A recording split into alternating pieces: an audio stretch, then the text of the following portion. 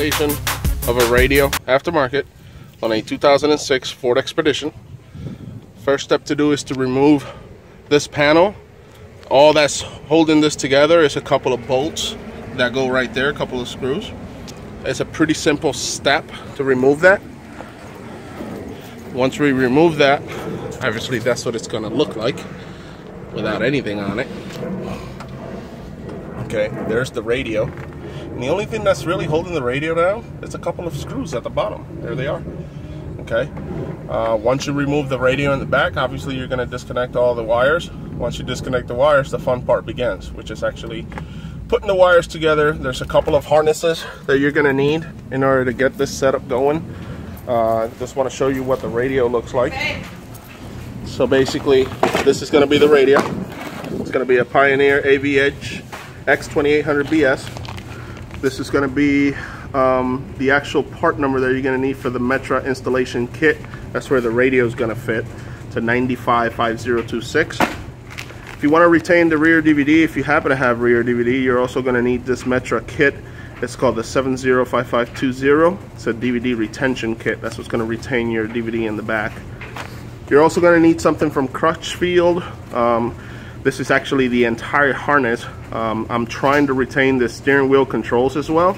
Um, so this is going to be for your particular uh, car. Uh, it's going to be the Expedition. You can look them up on Crutchfield. They have all of them. Uh, this is going to be SWR FD60L. This basically comes with everything inside, including the antenna cable that you're going to also need. Uh, and here's the actual uh, control uh, unit that's going to control the radio, the actual steering wheel controls. That's the other thing you're going to need. Um, and pretty much everything else is in here that you're going to go ahead and start splicing and putting together inside. Uh, the harnesses so you can retain uh, pretty much everything. And then this is the camera, um, the backup camera that came as well. Um, well, it's an extra purchase, but I really wanted this. I uh, want to see how it works. Um, the only couple couple of things that you're going to need to know about the vehicle itself very well. Um, it's two things. Uh, the first thing you're going to need to know is where the parking brake cable is, uh, because you're going to need to hook up. Uh, I don't see it here. Thought I had it up here. Um, the parking brake cable retention uh, to remove that. I don't don't know what the heck happened. Oh, there it is. I had it on the other, on the other side. Uh, this is so you don't have to use the parking brake cable uh, as the micro bypass. And then the only thing you're going to need to know is, uh, you know, where the parking brake cable is on the vehicle on the harness because you're going to hook this up. Uh, that green wire is pretty much the one that's going to be hooked up in order to tell the radio that you have the parking brake engaged in order to use a lot of the features. And then the only and then the only other thing is going to be um, uh, you're going to need to know where the reverse light is. Okay. Um, once you hook up the backup camera, because basically what's going to happen is this long wire right here is going to go all around the trim. You're going to hook it up so you can get video out of the camera uh, to these two. You're going to get video and audio out of them, but you're also going to need to figure out where okay you're going to give it power to in the back. So you're gonna give it power, okay, by hooking this up, okay, um, and you're gonna need to to figure out back there once you get into the uh, trunk area uh, where the uh, reverse light is. Because what's going to happen is you're going to want the camera to turn on when you put it in reverse. So you're going to need to follow the wiring for the uh, reverse lights and you're going to tap into the reverse light wiring in order to get this turned on. Okay? And that's pretty much it um, it's going to be an all-day installation. We'll see what happens. I'll give you updates once I get it all put back together, okay? Thanks. All right, fellas. So, after pretty much three hours of chaos, finally figured out what everything is. It's not as easy as it looks. It's not as easy as it says. That's for sure. Uh, so, pretty much everything works correctly. I've already tried the unit. Uh, there it is. I've already mounted uh, the DIM connector on it. Got some instructions here on how to set up uh, that, which is for the uh, steering wheel controls. It works properly. Uh, I've got the uh, harness right there. That's the connector for the back of the radio. Uh, this is basically your retainer for the subwoofer, which comes with the harness from Crutchfield. Um, you also have the DVD retention system, which basically just retains sound. Um, and uh, it powers up the unit uh, because it adds a remote wire and a ground wire. That's that's that's how you're able uh, to retain the rear DVD because the Crutchfield one actually comes with uh, this one and apparently this one doesn't have none of those wires. See the difference? There's only four wires there. Uh, that's just the RCA's the actual one that you have to purchase separately uh, which is this guy right here. Uh, if you could see where the RCA's are. I just pulled I'm sorry the video's kind of those are the RCA's that's the plug and those are the two wires right there. Okay uh, this is pretty simple to, to, put on on the Expedition, which um, I'm glad I don't have the CAN system. It's apparently the CAN bus system is a little different. I've taken the liberty of taking the middle console out just because um, the radio does have a USB connection on the back of it, which is this wire right here. And what I did was is I opened up a hole on this side, uh, if you can see it right there, uh, through get it through my center console. And so what that does is it allows me to plug in a USB there and that gives me access to either update the radio, which uh, Pioneer has an update I have to download. Uh, and it also gives me the option to plug in the the um, uh, the phone to it, which gives me the navigation and all that other good stuff that uh, the radio is capable of doing. So I'm getting ready to put all this back together. A couple of things that I did was I took the parking brake or the reverse wire okay, which is this green one right here. And the reason why it's green is because I had a lot of it from the reverse, um, from the uh, reverse gear signal.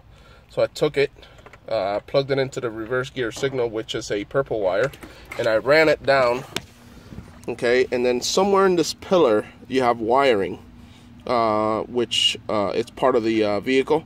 So you should be able to find the reverse wire in this in this pillar uh, you're just gonna have to remove this cover and find it and tap into it. I also went ahead and for the backup camera, I ran the wire. Uh, the backup camera is gonna be, uh, it's gonna be a yellow wire. Should be here. Okay, that's the yellow wire. So I ran the backup camera and the microphone, which I actually installed up there. Uh, that was pretty simple. All you gotta do is take uh, this right here, which is the weather stripping. You take the weather stripping off, run it through the middle of the console into the bottom there, uh, right across, and then just um, run along the side underneath the dash into this uh, weather stripping. You should be able to plug it in right there. It's pretty simple. Um, and the backup camera one uh, for the for the uh, for the uh, video. Uh, on the back of the radio, you got to remember to plug this in into the video in, not to the video out, because if you plug it into the video out, uh, you're not going to see the camera. Uh, video out is if you have an external um, display that you want to display the camera on instead of on the radio. Uh, otherwise, if you do that, then you're basically taking all this crap apart uh, in order to plug this back in. Okay, so I'm gonna put this back together, and once I put it together, I will uh, give you an update. Thanks. Okay, guys, so here's day two, and there's absolute chaos in here. I've taken the trim out to run the wire for the camera all the way through this pillar. The installation of the radio came out really neat. It's already put together. Uh, as you can see it, there it is. I'm just working on the rear end right now for that camera. And I'm also looking for uh, the reverse cable. Okay, so we can get the camera um, to turn on once we put it in reverse. So I'm still trying to figure that out. I told you there was a ton of wire here, and there it is. So I got to figure out where that goes. On the back side of it, unfortunate news why I stopped was because it got dark, and also because the cable, well, it really wasn't enough. It only reached to about here. Uh, actually managed to get it all the way through this pillar uh, from underneath um, this back panel where the subwoofer is. Um, but it only reached up to here and the plan is to be able to put it right through here. So I'm gonna fish hook it through here. I want to come out here because there's gonna, there's a trim I've already taken out. As you can see it's right there that trim piece right there. Okay and then I want to be able to take this paneling off. Okay I'm to take all this paneling off because what I want to do is I want to hook that or I want to be able to have that wire come out through the license plate holder here uh, where the bulbs go uh, since it's it license plate mounted um, you can see I took the license plate already off um, because that's where it's to mount on the license plate. So the wire needs to come out through here okay? And that's the easiest way so you don't have to make any holes you don't have to make anything else uh, that'll probably be the easiest way so that's the plan for today um, what I did end up buying uh, was a an extension um, so that I can hook up to that um, and be able to basically extend the cable. Um, so I ended up buying uh, that, which I'm only going to use the yellow wire out of. And this guy right here. Okay? And all it is is an RC adapter. And that should do me. So hopefully by the time I'm done uh, it'll be put together and everything's working. See so there's the rear camera guys finally. Put together ran the wires through here like I told you back panel took me quite a long time to get it squared away but I finally did I basically have the wires going through there so you can see them uh, down this pillar all the way down through the side into the radio. So what I did, what I ended up doing, okay, so I took this panel off. Uh, instead of grabbing power from back here, because uh, that's where the wiper motor is, which I wasn't getting any out of either way, I ended up running a wire all the way to the front. That was the only way that I could get the camera to work. The camera wasn't working uh, unless it had some type of ignition um, power. I took all this weather stripping off uh, and I ran the wires. You could probably still see some of them there and they just kind of go through into the radio. Uh, the radio finally works, the camera finally works, the audio controls and the steering wheel finally work. Um, it took me a little while, um, but you know, it's uh, it's well worth it. Um, I'm happy with it.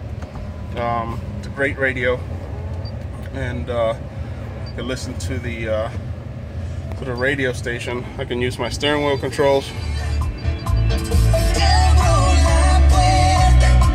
I can use this to change to DVD, which I have one in it. So you can see the DVD up front. Um, and I don't have to have my parking brake engaged. Hello, Hello, Excuse me, Mr. I will blow that ugly right off your face. Gives you that and then it eventually comes on. Uh, I could also do uh, Bluetooth uh, right through here. Uh, all I have to do is Bluetooth audio and I can see uh, or I can listen to the radio uh, or you know Google Music. You can pretty much Bluetooth anything. Uh, Pandora and Spotify, I haven't tried them. I don't really know the, the whole deal with uh, Pandora, Spotify. If I'm able to Bluetooth, I don't really know why I need the, the apps there. But whatever, that's another another thing for another day. Uh, with AV here, I finally got the camera to work. So if you hit AV, you can do camera view to look at the camera. Uh, and there it is. Okay, that's the rear view.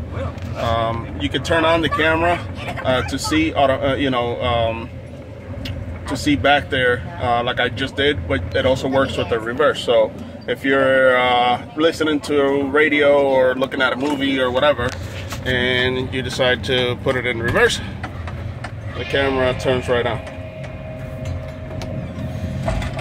Okay, so that's another thing. And then um, you also have on this, uh, you know, with the USB wire, you can hook it up, which I have it right here uh, to where you get this particular setting right here called apps to work. And that's where you have navigation through the phone uh, it shows up on the screen. You also have uh, the calendar and you also have the weather. Uh, all you got to do is plug in the phone and you can get all those features there so you don't have to use the phone. Um, the microphone's up there. Um, and I, you know, so far so good. There's a lot of settings, a lot of theme changes. Like the radio, I have it green, so it matches with the rest of the car. Uh, but it was a really nice, clean install. Um, doesn't look too bad. So I'm, I'm pretty excited about the radio. I like the way it works. Uh, everything seems to be working properly without an issue. And uh, like I said, the settings up here uh, just gives you, uh, know, there's tons of settings here uh, that I really haven't played with. I know there's some background themes clock. I haven't played with a lot of them. Uh, the graphic equalizer. Um, and then there's the uh, connection to the Bluetooth. The phone automatically connects to Bluetooth, as you can tell from there. If I click on that, that's actually, I can make phone calls without having to touch my phone whatsoever. And I can see my whole contact list. You can see them right there. Hey, there's Marcos. Um, so I can give him a call right from from here without having to go through my phone. I don't have to touch my phone whatsoever once I get in here. So, pretty good thing. So, thank you guys for watching. Uh, it was a nightmare, but it can be done.